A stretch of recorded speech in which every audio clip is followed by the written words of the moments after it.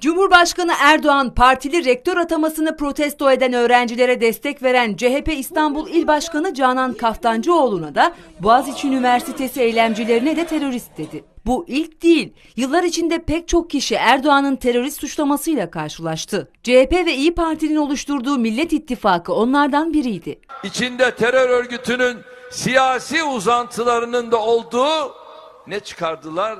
Dörtlü bir çete çıkardılar. Dörtlü bir çete.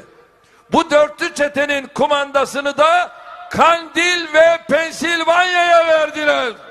CHP lideri Kılıçdaroğlu'na da sık sık terör suçlaması yöneltti Cumhurbaşkanı Erdoğan.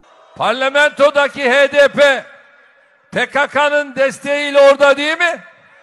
Onunla orada. Peki onlarla beraber Ankara'dan İstanbul'a niye yürüyorsun?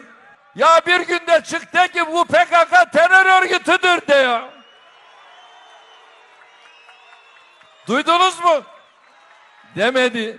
Erdoğan hükümet sistemini değiştiren referandum öncesinde de yine sisteme hayır diyenleri terörist ilan etmişti. 15 Temmuz darbe girişimi dikkat edin. Hayır diyenler onlarla beraber mi?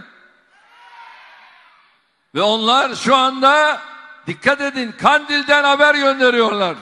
HDP'nin eski eş başkanı Selahattin Demirtaş bu suçlamaya en çok maruz kalanlardan. Elinde onlarca insanın kanı bulunan bu terörist destekçisini hemen serbest bırakacaklar. Türk Tabipler Birliği Başkanı Şebnem Korur Fincancı da Erdoğan'a göre terörist. Ne zamandan beri terörle iç içe olanlar Tabipler Birliği gibi önemli bir kuruluşun başına geçebiliyor. Türk lirasının değer kaybettiği dönemde elinde döviz olanlar bile bu suçlamaya maruz kaldı.